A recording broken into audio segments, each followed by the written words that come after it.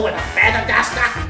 Would right in your ass into the ground like one of them little bastard midgets on the horse with ah, whipping. As life puts so much pressure on you, like an elephant on a yoga mat, that you're literally just about to crash. Ladies and gentlemen, gather around and let me introduce myself as none other than the Honest Eddie. I'll reveal to you the three magical secrets to making your first $1 million in just 12 months. That's right, you heard right. $12 million. Now, the key to riches and success can be all yours for a very low, low price of $999,999. Join Honest Eddie and let's What the hell are you doing?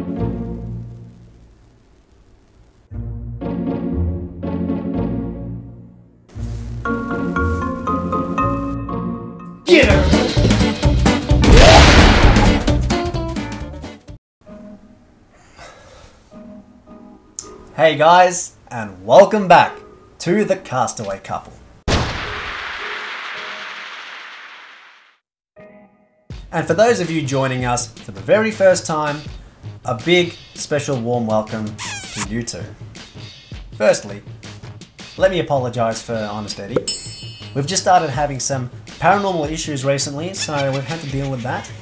But don't worry, let's just try to ignore him and maybe he'll go away. Anyway, this video is intended to give you a bit of background about how Jan and I started our lives here in Australia.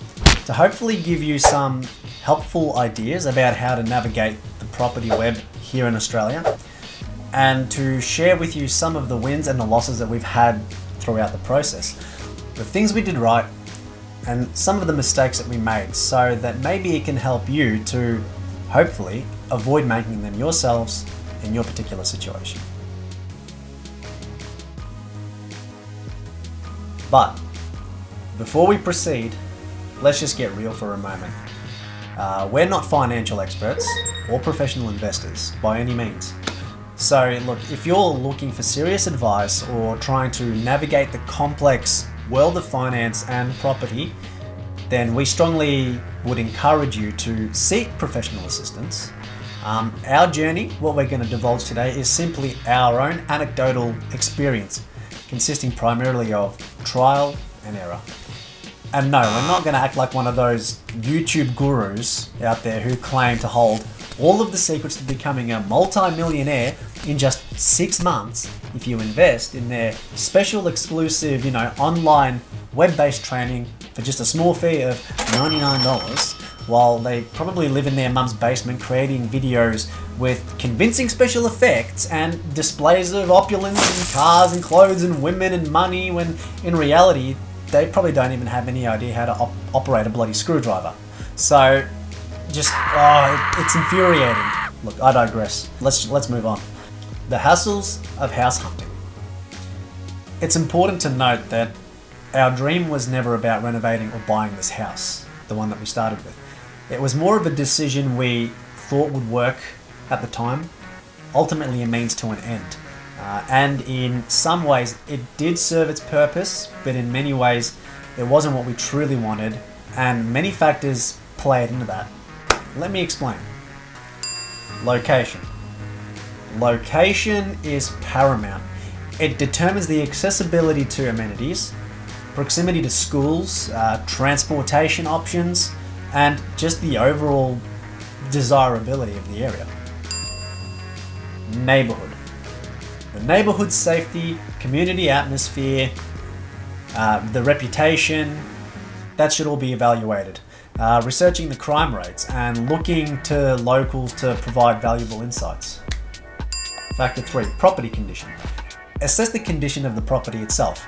Uh, consider factors like age of the house, maintenance requirements, and any potential renovations or, report, or repair costs that may be involved. Number 4 Size and layout. Determine if the house meets your spatial needs and preferences, or the block of land for that matter. Consider the number of bedrooms, bathrooms, living rooms, and storage available. Factor number five affordability. evaluate the property's price in relation to your budget. Consider the mortgage payments, taxes, insurance, and ongoing maintenance costs to ensure that it aligns with your financial capabilities. Factor number six potential for growth. Now, this is a big one, guys. Assess the property's potential for appreciation in value over time. Factors like upcoming developments in the area, infrastructure projects is a big one, and the overall market trends can impact financial growth significantly. Now, most importantly, I think is factor number seven lifestyle fit. Consider how the property aligns with your lifestyle and future plans. Think about factors like proximity to work, recreational activities, schools, and family or social networks. These things are of utmost importance and they ultimately define whether you're going to be happy in that property or miserable. So during our property journey, it's important to acknowledge that we face challenges and we made critical missteps in several key factors, which ultimately affected our ability to maximize our return on investment.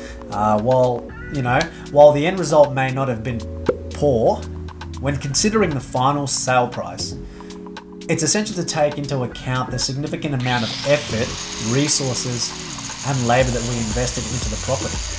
Uh, in in retrospect, now when we look back on it, it can be likened to that of a, a forced savings account. So this basically means that when factoring in the extensive hours spent renovating the house, so the labour, and the necessary upgrades to bring it up to the desired sale price, we essentially, look, we broke even, and that's the honest truth. Uh, in essence, we were able to recoup the initial investment, but the overall return was minimal due to the substantial expenses that we incurred. So my wife and I did most of the work ourselves, which plays into a big, big factor where we saved a lot of money on paying professionals for labour. Now, one of the key factors that played a significant role in our outcome was the property's location. Unfortunately, it was situated in an undesirable area, lacking proximity to developed major areas, hospitals, not a hospital in sight, proper grocery stores, uh, and adequate access to public transport, which was virtually none. This drawback severely impacted the property's potential and hindered its growth compared to if we had opted to build a new house in a developing estate with you know ample room for expansion and a lot of infrastructure projects which occur very close to those estates. Um, even now, as an example, so let's say the properties that we purchased here in Queensland a little over a year ago, we've already achieved a return of close to half of what we were left with with after five years at our old property. And we have literally put no effort into them whatsoever. Um, okay, yeah, I've slapped some paint on the walls and stuck some wallpaper on in the bedrooms for a few bucks. But it's really an insignificant amount of money just to, you know, spice things up a bit. And make it our own, which is what we wanted to do. Just add a little bit of our own zazz. Um, you know, this leads us to the topic at hand, by the way buying versus building. It is a crucial decision that requires careful evaluation of various factors, including location, customization options, cost, and the long term potential for growth. By considering these aspects and making an informed decision, individuals can set themselves up for a successful and rewarding property investment journey. So, while our personal experience leaned towards buying an existing property, um, considering all of the above factors, and renovating it, it's important to explore options and understand their implications. So, in our reflection, we realized that perhaps a little more thought and patience could have led to a better outcome. However, at the end of the day, we can't complain. Um, we're grateful for where we are now. Still pursuing our dreams of living in the Philippines, above all else, absolutely above all else. So stay tuned, by the way, for more updates on that in our upcoming videos. So looking back, uh, our previous living situation would require generally between two to three hours of commutes every day. Um, Jan used to work in the city, so our mornings began at at least 4 am. I would drive her a minimum of 50 minutes to the nearest train station, And if I had work on the other side of the city, I would drop her off literally at work and continue on my way off to where I was going. So she would start her day at 5:36 a.m. already at work and finish at 5 p.m. when she was due there at 8:30. I'd wrap up my job, I'd do some more overtime because my job normally consisted of overtime every day. Had to get the job done. So depending on where I was working as a tradie, she would either make her way to the closest train station where I'd go and pick her up, or if I was lucky enough to be passing back through the city, I would pick her up on my way back. And then, of course, we'd have to fight the traffic, peak hour, for about two and a half hours on our way home. It was about an hour and 50 minutes to get to the city on a good run. So we'd arrive at 7 to 8 pm most nights, and even then, I'd still go and unpack my tools, set up a bunch of work lights, and continue working on the house until midnight, only to repeat the process the next day. Um, weekends were no exemption, as I would normally work overtime and do weekend work because I had to get the money for the house for the renovations that we were doing. We were already so deeply involved. That's that's the only option I had. So every minute that I could be productive, I made sure that I was. And if I didn't use every single day like that, um, we would still be stuck there today. So look, guys, I won't sugarcoat it. Honestly, it nearly killed us, physically and mentally, and emotionally, in more than just one way. But look, now we have ourselves in a very decent place. My work is just five minutes around the corner. Um, all of the amenities, essential, you know, grocery stores, hospitals, doctors, clinics, shop, you know, any kind of shop that we would need, furniture, there's an industry here, there's you can get anything made, get anything done. It's within a 10 minute radius of us. And I would never trade it back for what it once was back in uh, Victoria. So our dream now revolves around living self-sufficiently, off-grid and independent of the system, growing our own food, having our own water source, and embracing a peaceful existence. We aim to break free from the debt traps and the never ending pace of this Western life. You know, we've just had enough and we're tired. I've mentioned this a hundred times before, but look, the past five years have been an intense journey. Accomplishing what it feels like many couple may take a lifetime to achieve, we had to do in five. And truthfully, we are, we are exhausted. Um, anyway, dear friends, that's our story of how our lives unfolded. Um, we invite you to like, share, and subscribe to our channel for more raw stories, valuable insights, and connections. Let's connect because we genuinely want to connect with all of you. Um, hopefully, we can be a source of laughter, joy, and perhaps even inspiration for those who may be in need of a glimmer of hope or just for a touch of joy in their lives. Um, please feel free to leave your comments below. Um, if you're, you know, in a situation similar to ours, if you can relate to us, we want to be able to be that shining light. You know, that, that little sparkle that can just lift you up and elevate you every single day when you get up, when you think all is lost, when you think all is hopeless, because believe me, there's many times, many, many a times that Jan and I have felt that way. And it's not a good feeling.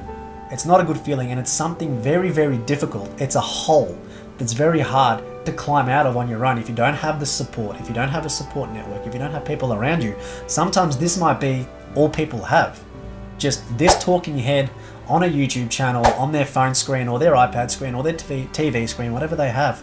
You know, and if there's any way that we can be a source of hope, a source of inspiration, that's all we're aiming to do here. Provide a little bit of joy, a little bit of laughter, and to connect. If you have any questions, connect. We'll do our best to get back to you. If if you want to just drop us a comment, a little bit of advice, uh, something about our channel, how we can maybe be more creative or a bit more aesthetically pleasing with the way that our you know videos flow and, and what we're doing, please feel free to comment. All constructive criticism is accepted. So look, we really thank you for your support and we're here to support you back. So let's work together and let's make this world let's let's make this a better place for people. Let's give people the knowledge, let's give people our experiences and share what we have learned, the mistakes, our downfalls, our wins and our successes. Because at the end of the day, that's what all of this is about. At least here on the Castaway Couple. So stay tuned for more, guys. And most importantly, take care.